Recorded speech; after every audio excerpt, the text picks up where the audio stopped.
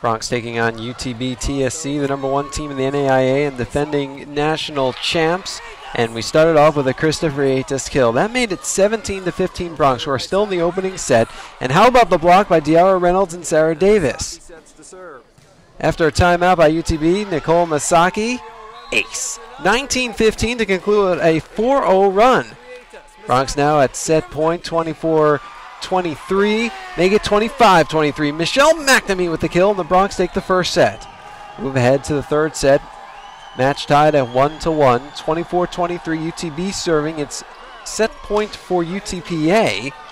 And there's Haley Durham with the kill. Broncs take the first and third sets 25 23, but drop a heartbreaker to UTB TSC 3 to 2.